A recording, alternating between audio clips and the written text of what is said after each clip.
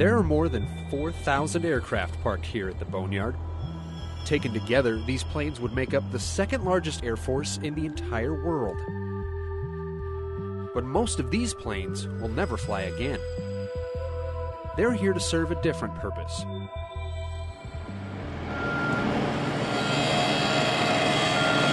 The Boneyard is where the Air Force and every other U.S. government agency sends their decommissioned airplanes to be taken apart, reused in other aircraft, or turned over to the Defense Reutilization and Marketing Office to be sold as scrap. The reclamation process at AMARG is able to extract the very last tax dollars from these aircraft after they've reached the end of their useful operational lives. It's a mission that's been helping save taxpayers money since the end of World War II. Shortly after the Second World War, um, there were huge quantities of surplus aircraft scattered all over the world. A lot of them were scrapped where they were in theater, depending on the types. Other airframes were identified as having value for potential future use, or there just wasn't enough capacity in the overseas theaters to, to dispose of them uh, as required. So a lot of them were, were ferried back here. Uh, in particular to Arizona, uh, a lot of B-17s. B-24s, and B-25s were all located here.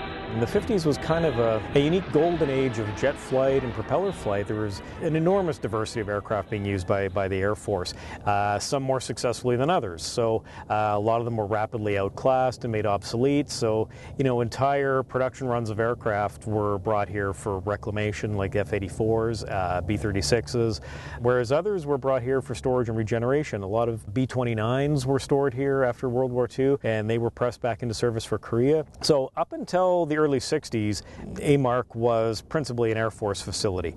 Uh, the Navy and the Marine Corps maintained their own facility up outside Phoenix at Litchfield Park. Uh, but that was closed up, I think, in 1962, and all those assets transferred down here. So since that time, this has been the complete storage facility for government aircraft. So you find NASA aircraft over there, you find Coast Guard aircraft, Border Patrol, Navy, Marine, Reserve units, training units. We have a lot of unique airframes here, a lot of uh, one of a kinds or few of a kinds. Behind us here, there's a B 36 Peacemaker. It's special. It um, is the last production one ever built by, by Convair. Uh, came off the assembly line in 1958, flew for two years, retired out in, in Fort Worth. It's one of only four existing airframes out of nearly 400 built. One of my personal favorites is the Boeing B 52A um, Stratofortress. It's the oldest buff in existence, a serial number three uh, third one off the production line. Uh, it was the principal uh, test airframe um, and carrier mothership for the X 15 program. So nearly all of the early Gemini, Mercury, and Apollo astronauts all dropped off of our uh, off of our B-52A uh, in the X-15 program. Uh, the recently deceased Neil Armstrong was a participant of that program and dropped off our airplane. So, it's to my eyes, it's kind of reeking in history. I, I, I really love it. As the Air Force has evolved, so has the Boneyard. During the Cold War, America's determination to outpace the Soviet Union in the space race helped fuel an explosion of technological advancement. Almost as quickly as they were introduced, U.S. military aircraft were regularly phased out as newer aircraft flew faster, higher, and farther. The outmoded airplanes were sent here, and the Boneyard's inventory began to swell. With the Vietnam War came a renewed call for even more advanced bombers and fighters. By the time that war started to wind down in 1973, the Boneyard's fleet had reached an all time high of more than 6,000 aircraft.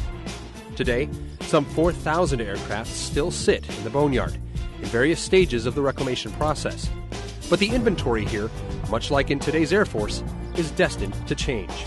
You know, as our Air Force becomes more and more technologically reliant, um, fewer and fewer different types of airframes are being produced. Um, I would expect probably in 20 or 25 years, you'd probably see less than a thousand aircraft over there. And looking out 40 years, there may not be a need for such a large facility. There will always be a need for the facility, but whether or not you're going to find fleets of KC 135s or fields of F 15s, Probably not. You know, there's 200 some odd F 22s. You know, the F 35 hasn't even really come into full operational service yet, so I wouldn't expect to see any of them even twinkling at retirement for 35 or 40 years. You know, but there's probably several hundred of them. So it's it's not going to be the same vast, diverse fleet that you see now. So, you know, it is kind of the end of a golden age. You know. Over the course of its more than 60 year history here in the American Southwest, AMARG has become something of an aviation enthusiast's mecca. Wherever you go in the world, anybody who kind of is interested in aviation or airplanes at all, if you mention Tucson, you know, their eyes light up, go, oh, that's where the boneyards are, right? I, yeah, yeah, that's where the boneyards are. And the boneyards are here for a very good reason. Turns out the desert climate here in Tucson provides an ideal environment for long term storage of these aircraft with very little risk of corrosion or other damage from the elements. The ground we're on here uh, is is, fairly unique. It's, it's a very high calcium soil, very stable. When it's dry as it is now, it's as hard as concrete and very, very, very robust. And with the dry weather conditions here, low relative humidity year round, very low rainfall, averaging about six to eight inches a year in the region, there's nothing like uh, tornadoes or hurricanes or that type of thing here to potentially destroy assets. So Tucson was identified as an ideal location for an active reclamation facility. And that year round sunshine also makes this an ideal location for people to come visit and experience Air Force history in person.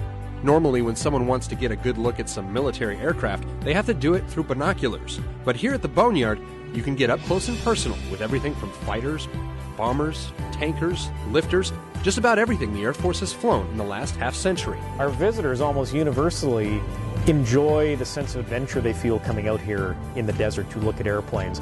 Uh, we don't rope off our airplanes outside. People are free to get up and stick their head in the wheel well, bump their heads on a propeller, trip over a tie-down cable, run from rattlesnakes. You know, it's it's it's it's the authentic desert experience out here, and it's a big part of our charm and our appeal. One of our sort of taglines is, you know, where you can touch history, and we you know we, we embrace that.